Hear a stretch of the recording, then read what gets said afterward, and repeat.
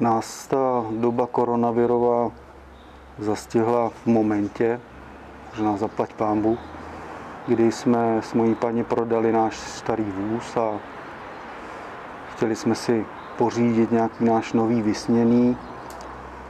A, a co myslíte? Zůstal nám na obrázku, asi ještě spoustu let zůstane, ale na druhou stranu jsme dokázali všem zaměstnancům našim a lidem, co s náma už tolik let spolupracují a pracují pro nás, všechno zaplatit, všechny mzdy, pomoct jim a na to jsme možná i trošku hrdí a pišní.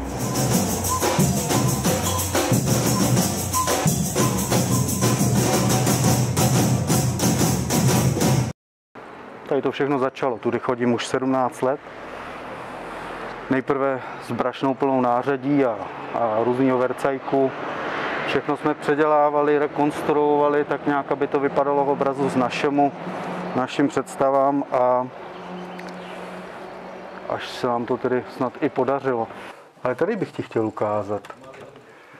Za ty léta jste připravil takový slib personálu, naše desatero, který každý, kdo s námi chce pracovat, musí ctít a dodržovat a tady se nám upsat.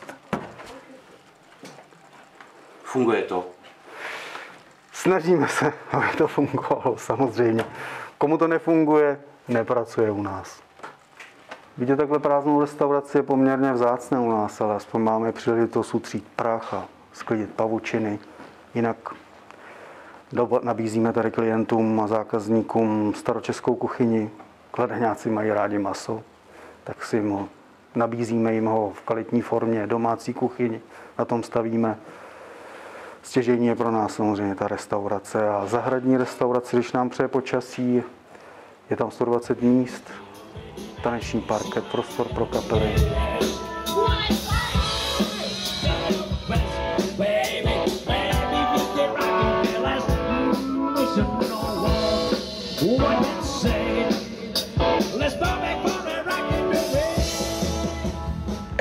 Tak dobrý den, mé jméno je Anna.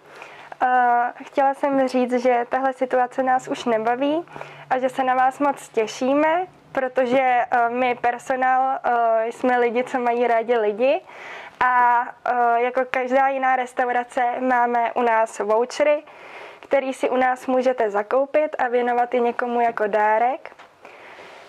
A já i mý kolegové, jak tady za barem a v kuchyni se na vás už moc těšíme. No, to je, to jsem byl svýho času v Irsku, v Dublinu, byl jsem proškolen, abych uměl a věděl, jak perfektně natočit Guinness pivo. Ale co pak to, tohle to je důležitější. Tady každý ten kámen, co vidíš, každou tady tu spáru tímhle palcem jsem renovoval, každý kámen očistil a vyblejskal. To je důležitější. A jsme tady. Pojďte dál. Další prostor, o který se staráme, je divadelní sál. Je to malá scéna, která slouží především jako zázemí několika královských amatérských divadel. A můžu vést především divadelkou zvonu, což je úžasná volnočasová aktivita pro děti. Moje srdeční záležitost divadlové AD, soubor Kladina, dramatické kroužky, zařízení Zahrada paní Bartošové, základní umělecké školy, labirintu, Kladenského gymnázia. Pro nás je to sice taková samaritánská činnost, ale je to srdeční záležitost.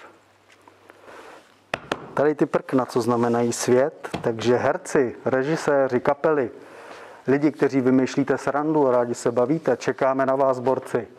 Máme tady audioaparát, máme tady světelný aparát, kapacita 130 míst, můžete si tady vytvořit zázemí svého souboru, pořádat představení, svoje e, domácí projekty.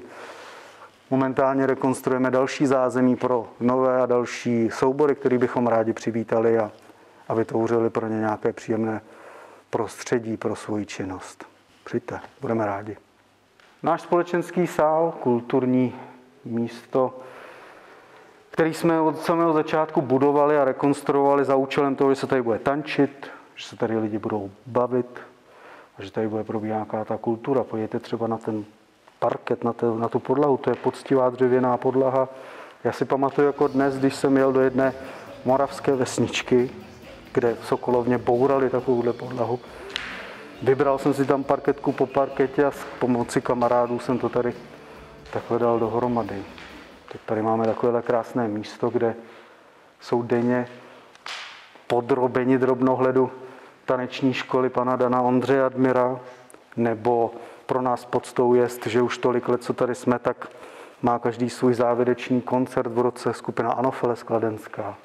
Samozřejmě moje srdeční další záležitost All Right Band, taneční zábavy s nimi, výborná záležitost.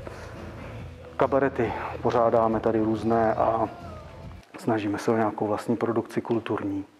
Tak tady je náš bar, náš báreček, kde jsme vlastně před těmi 17 lety začínali. Je to absolutně oddělená jednotka od restaurace, samostatná, samostatně vybavený, samostatně obsluha. Někdy před těmi devíti lety, osmi devíti lety jsme rekonstruovali. Z nějakých větších investic jsme tady vybudovali takzvaný, dneska tomu říkáme retrobar. Pojďte, já bych vám chtěl něco ukázat, co jsme jakoby přidanou hodnotu dali tomu baru.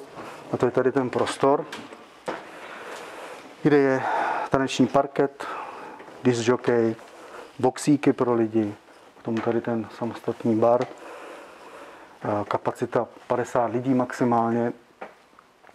Každý pátek, sobotu od 21 hodin máme otevřeno, nebo pronajímáme ten prostor pro samostatné firmní večírky. Některým to vyhovuje, že jsou naprosto oddělení od restaurace nebo zahrady. Rádi bychom samozřejmě zase pokračovali a otevřeli, ale nevíme to dnes, jak to bude nebo za jakých podmínek, ale rádi bychom tady pokračovali. Fajn, takže teď je ti zhruba 12 týdnů a já vstanu v pět ráno. Jako každý den. Zvednu tě a jdu s tebou do koupelny, zakopnu palce po prachtu jako kráva.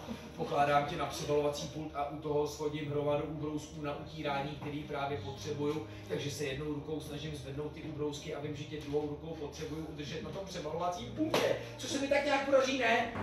Co bych chtěl určitě na závěr říct, tak já hluboce děkuji a klaním se projektu Kladno žije, že si na nás vzpomnělo a přišlo za námi a vůbec mělo zájem se nás na nějaké věci zeptat a, a zmínit o nás. Velice nás to překvapilo a nic takové jsme nečekali, takže děkujeme asi za všechny kolegy a, a za naše zaměstnance za takovouhle, takovýhle krok od vás. Díky a mějte se a naschánou.